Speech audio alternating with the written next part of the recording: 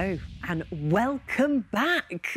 What a long, extended summer holiday it has been. Absolute pleasure to say. My name is Nicki Shields, and we are back for another episode of Straight Torque with Mahindra Racing to kick off Formula E's season eight. I can't believe it. I'm saying those words aloud. We are at season eight in the history of electric street racing, and it's going to be a really, really fantastic season, particularly because joining me now, I have two of the top drivers for Mahindra Racing and team principal Dilbagh Gill. Um, guys, welcome. Oliver Rowland, welcome. nice to see you. And of course, Alexander Sims back for another season. Um, guys, first of all, how are you doing? How have you all been? Dilbagh, kick us off. Well, it's been a busy summer as usual. I think, yeah, because we finished last year quite well, and then like in terms of some of the goals that you wanted to achieve, and I think yeah, so the momentum was kept continuing through summer, and yeah, with Rowland joining us now, Alexander in his second year, quite exciting. Yeah, I think we're looking forward to season eight, and hopefully getting back to semi-normal races after one year, year and a half. Yeah. Of, uh, like uh, stuff, something the world opening up. I think it's going to be really exciting. Most important question though: Did you have time for a summer holiday? What's that? Seriously, like, I think this, this year was like it's a what's that question. I bet your two drivers had time. Oliver Rowland, how are you? very good, thank you. How are you? Yeah, very good, thanks. Did you have time for a break? I didn't actually. No, no. no. I've been oh. quite busy, and I've got a little one now. So. Oh yeah, of course, because you bought your brand new baby girl yeah. uh, to the race when she was what three weeks? Yeah, three weeks in London. Yeah. Amazing. How's that been going? Yeah, it's good. Busy times, but yeah, she's doing really well. Um, you're looking quite fresh faced. I'm thinking maybe your wife is doing most of the nights at the moment. Yeah, but she's actually sleeping very well, so we're both very very lucky at the moment. Ha Enjoy it. it's not going to last. um, Alexander, how are you? Very well. Yeah, yeah, very well. I did. Please tell me you manage, got a holiday. Yeah, I did manage to get away. That was the whole point. um, straight after Le Mans, I, I went off for a, a, week's holiday in Cyprus, so that was very nice. Lovely. Feeling recharged and ready to go for season eight, though. Yeah, absolutely. Yeah, I think we've had a lot of good work in the the simulator in the off season, and yeah, looking forward to getting on track and seeing if uh, seeing if it correlates as we hopefully expect. Yeah. Excellent. Well, um, before we do sort of crack on and really get into things, um, can we take note of our amazing location? Now, you might be listening to this um, as our podcast, in which case you cannot see our amazing location. We are sitting here in an EMC chamber. Um, now, I know what it is because I've just been briefed about what it is. Do you guys actually have any idea what we're sitting in? Well, we've overheard you being briefed, I think, yeah, so that's yeah. about all we know, but it's pretty cool. It is, it is amazing. Okay, so picture this. We're basically in a kind of cube. Um, it is covered in polystyrene, you know, yeah, they're basically polystyrene.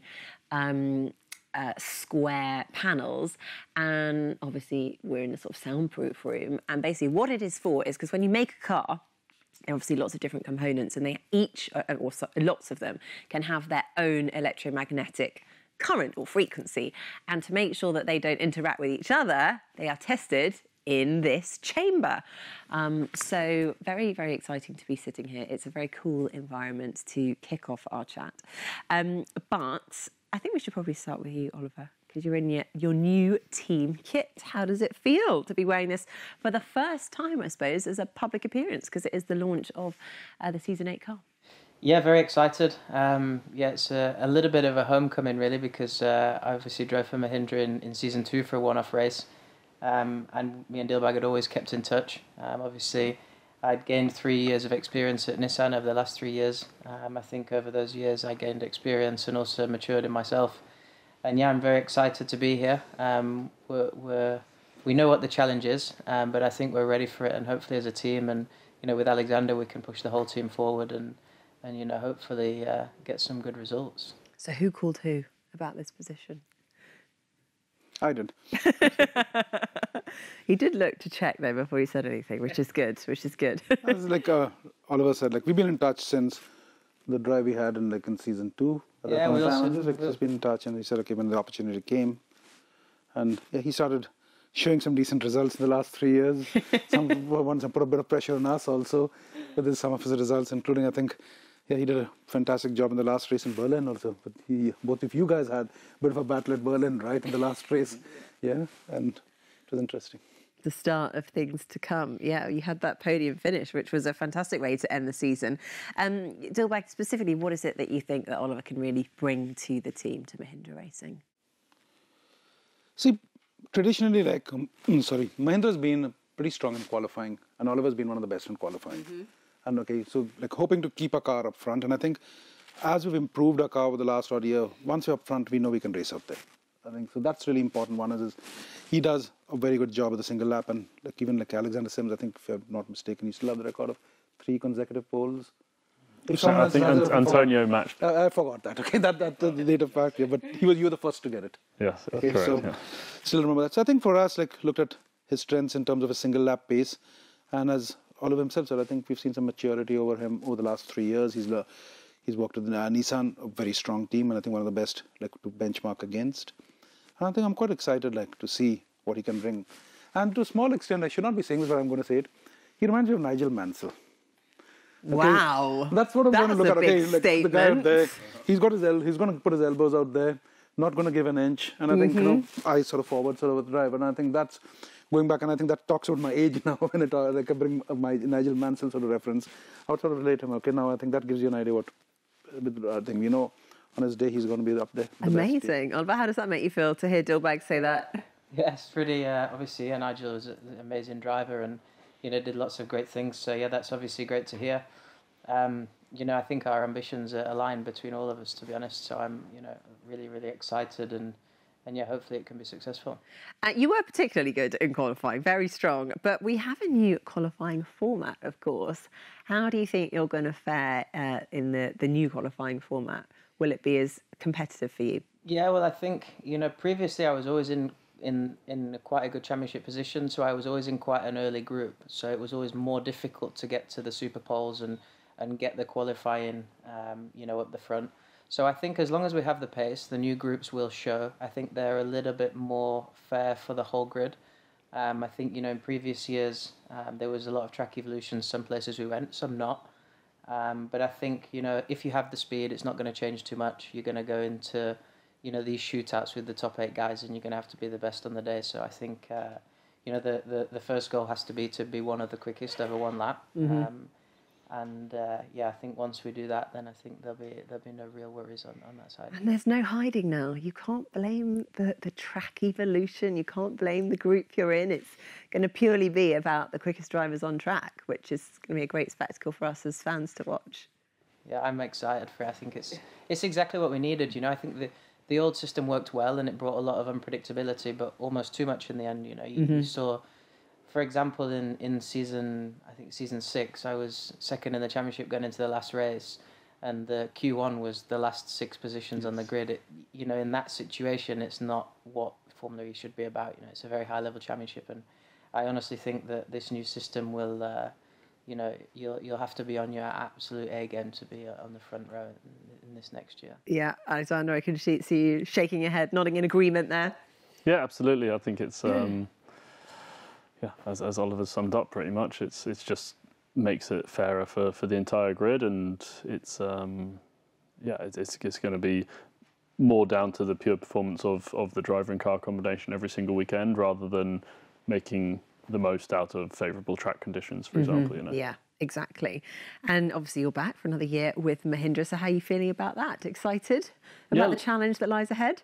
Absolutely. Yeah, really looking forward to uh, kicking off in, in season eight. I think we've had a, a decent amount of um, learning done in the simulator during the off season, trying to correlate what we um, felt was the situation in, in season seven sometimes with with um, with data, I guess, on the simulator, and trying to you know, quantify it and, and find solutions to certain things.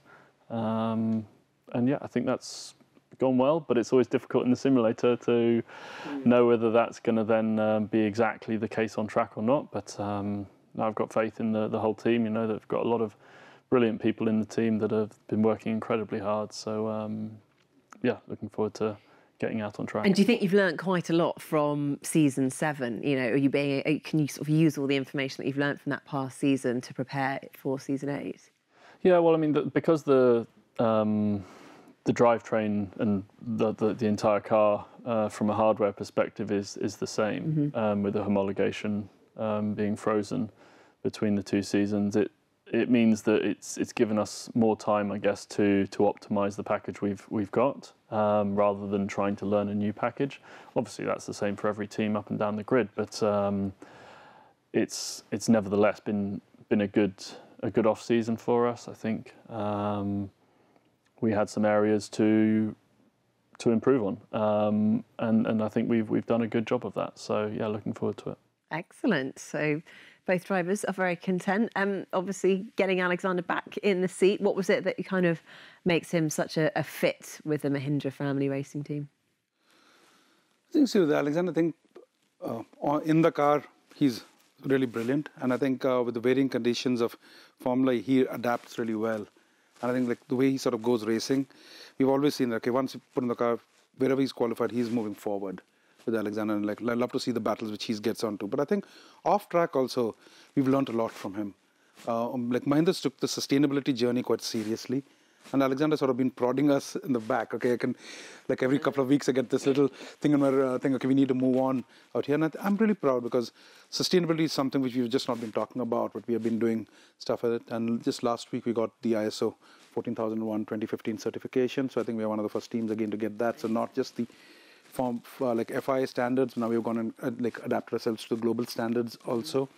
And the small little details like Alexander suggested, which was something took us for some time to even realize and get get it going was let's start an electric car scheme for all our employees.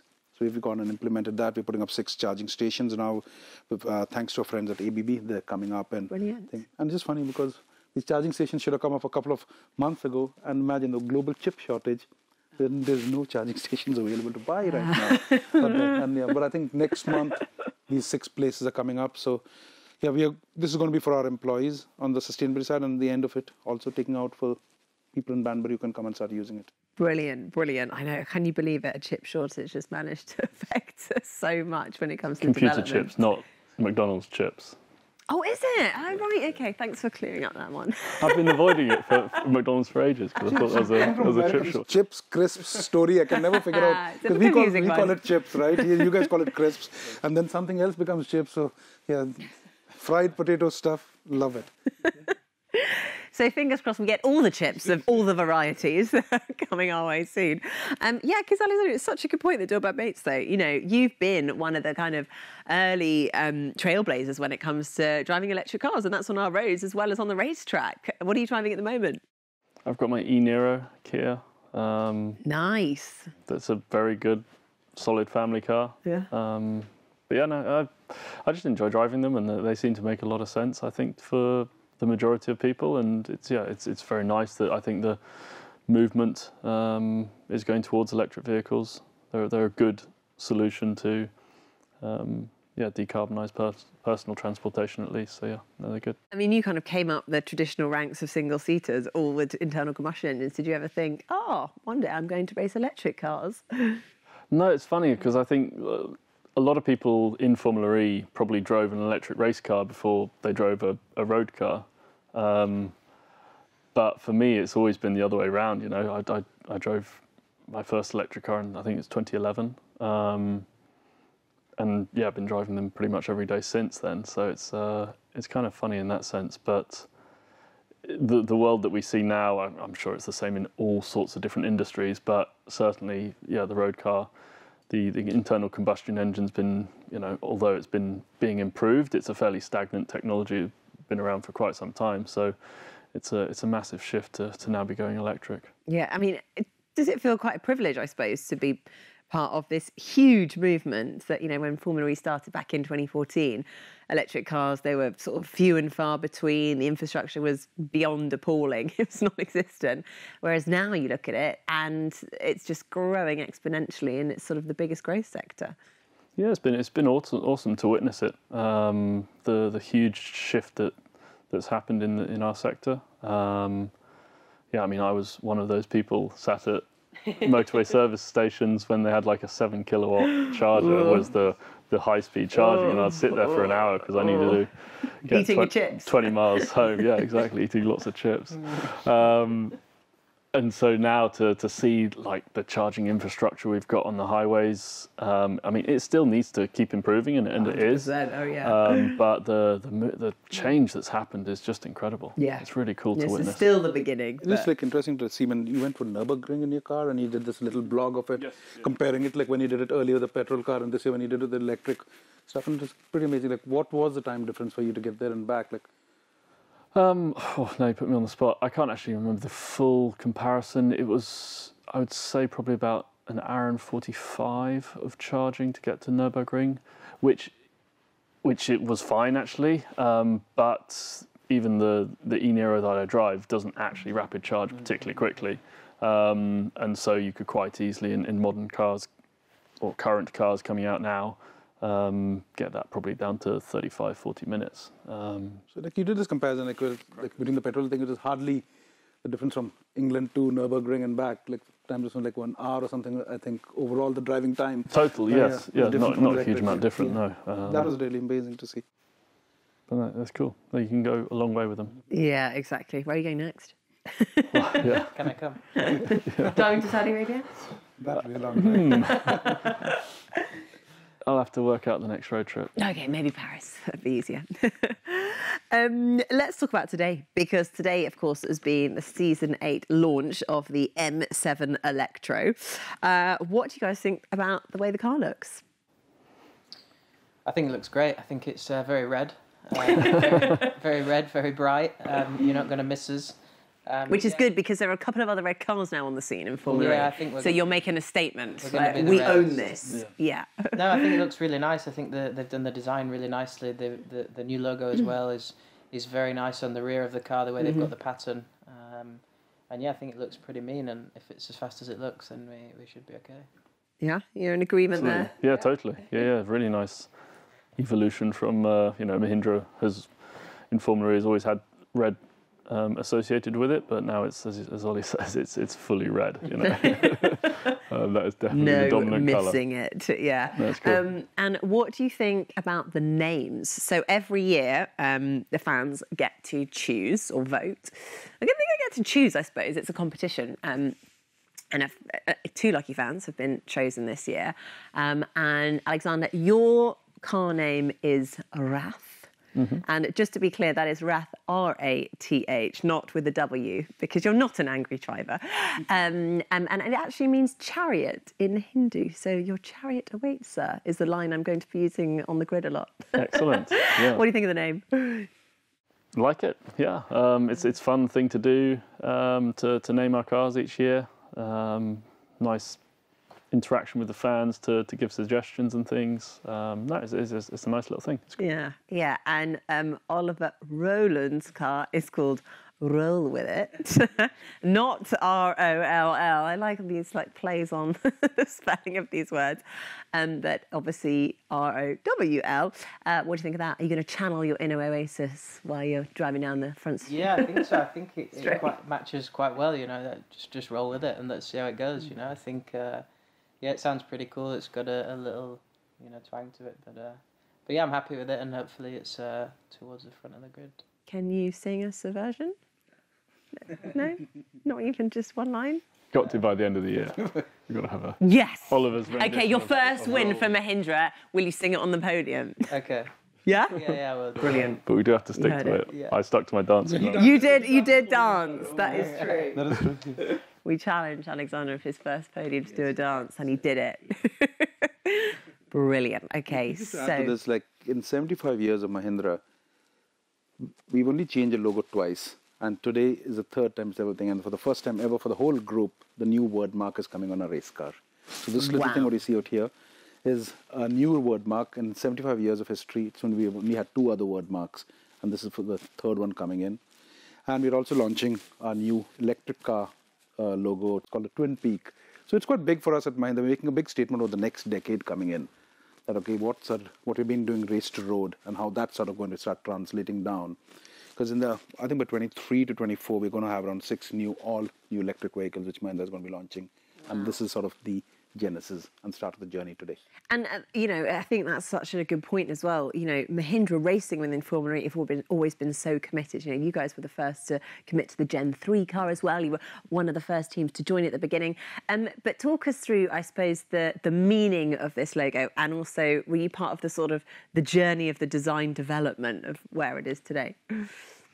I don't know much in terms of the journey. I, know we are, we are, I think I really know the, this bit is that we are the first Mahindra Group organization to start using it. And they said, okay, so nowhere in the world this thing. So today it's being unveiled for the first time, the new logo on our car, both of this coming together. I think that's a pretty big intent and pretty big statement from our side. And at the same time, we're also setting up the Mahindra sort of electric center of excellence at Banbury. So we're having our design studio come in and start putting out some cool cars, etc. So I'm I'm quite excited. Like what we have invested in the last couple of years, we're now going to start seeing some of the results coming in. Mm-hmm. We, as you guys know, we have done the project on the left, uh, which is the Automobili Pininfarina Battista, which is again a brand launched at a Formula E race th- three years ago when you were there at, at Rome. And would you ever believe, like two years later, the, the car's on the road, and it's a slightly nice looking car, and I'm sure. Have you, have, have you had a drive in it? Beautiful. I have not had a drive we yet. should get you one I think I've sat in it. Nor have we, though. Nor have we. Shotgun. Uh, insurance doesn't allow that yet. Yes, brilliant. no, we get you guys, but All on record. These are wonderful. no, that, that, that car is just amazing because that's yeah, the first time in my life when I sat on the throttle, like my kidneys are far behind me, like it had to catch up a few minutes later, and it's like 1,900 horsepower. But I'm, the, the point I'm trying to make is we made some very bold statements around Formula E, and today is another day of a bold statement with the launch. And um, and actually, because obviously we've got listeners as well as viewers um, who can't actually see the logo at the moment. Now uh, we haven't spoken to the designer of the logo yet. We are talking to him later. So I would describe this as a butterfly. Is this something that I should not be saying, or is that what he would describe it as as well? Call it the Twin Peak logo. The Twin Peak logo, which looks a bit like a butterfly. Twin Peaks, brilliant. Um, it, it, it actually works really, really well. It looks fantastic. So um, we look forward to actually having a catch up with the the, uh, the head of the design of that later. Um, very quickly, because we are running out of time. The season ahead. It's going to be a good one, isn't it? We've got three new tracks uh, Jakarta, Seoul, Vancouver. Guys, very quickly, which race are you looking forward to the most? Tough to say out of those three. Um, I think because You could pick any from the calendar. 16 Okay. races to choose from. um, I think I know what you were going to say. So Yeah, I'll you probably go go, for with it. Monaco. Yeah. I always, I always enjoy going. Ah, nice. It's, uh, you know, I think last year was the first time on the big circuit. We're going to be going back again with a slightly less protocols in place, and Mm-hmm. hopefully there'll be And some we better keep your, celebrating. we better keep your timing on online so you get out for qualifying. Yeah, yeah, exactly. Yeah, Monaco I was a bit of a missed- disaster missed last Super year. Bowl last year. so. um, but yeah, Monaco for me. Um, but also the, the new venues that you mentioned are pretty cool. I'm looking forward to, to visiting them as well. Yeah, I, I- I find it mad still in Formula E that we go to these places. Like when I was in, well, re- my whole racing career up till now, really, you know, to, to think of actually racing in Vancouver or Seoul or Jakarta or any of the other places that we've had on the current calendar already. Um, it's bonkers. So, yeah, I mean, all of them. All honestly, of the really above. tough. Really I, tough I would to, kind of to agree, choose one. To fair. Um, do you have a? Oh, sorry, I'm moving on. Are you, are you going to answer? No. Oh, I was gonna, Okay, I was okay, gonna say maybe going back to Rome. That was where we had a very good result. Ah, maybe uh, towards yeah. that cool circuit, but they're all, they're all pretty good. So Rome for you're going to move up a step and take your first win. If it doesn't happen Yeah, in I'd be Saudi happy or to even settle Mexico, for second yeah, exactly. again. Um, but yes, yeah, Dilbagh shaking his head. because I'll get the win at all the new circuits. So, yeah. What are you singing? Pardon? What are you singing? Well, I haven't committed to that. That's just Yeah. you, mate. I'll dance again. I'll do the dance Oh, he again. said it. He said it. He's going to do With the dance. suit. I think I have to stick to legal guidelines and uh, keep the suit on. So you've got two performers here, Dilbagh. I know. Looking forward to that. Not just on the track. uh, favorite track? Do you have one? I'm looking forward to Vancouver. Yeah. I Okay. think that's going to be quite interesting because the time of the year we're getting there also, and uh, it's going to be quite nice. And I think it's also pretty close to some of the markets you're trying to talk to, right? To the uh, like the west coast of America, etc., where I think this can have a pretty big impact. But there have been a lot of pioneering stuff coming out from there. So I'm looking forward to Vancouver. I look forward to every track. Okay, but particularly I think with the whole festival going to be happening there and this uh, Yeah, ended with their race. I think it's It's going to be a great celebration, isn't it? But then you went to Um, Montreal in season three was really nice. Like, so we enjoyed Canada in, in season three, and I'm looking forward to going back. Yeah, we had a good day there. Right, okay, before we do run out of time, we are going to finish with a quick fire round. Uh, mainly, really, to get to know you, Oliver, and see if Simsy and Dilbagh said anything interesting. um, we've got eight quick fire questions, and they've got to be quick. Otherwise, it defeats the point of the quick fire question. Are you ready? Yes. Yep. Fighting door. Okay, right, here we go. What is your favourite colour? Blue. Red. Red. Come on, get with the program, Oliver. If I say if I say the word spaghetti, what word would normally follow with that? Bolognese. Hoops. Bolognese. My kids eat spaghetti hoops. Brilliant. What is the best car in the world? Mahindra.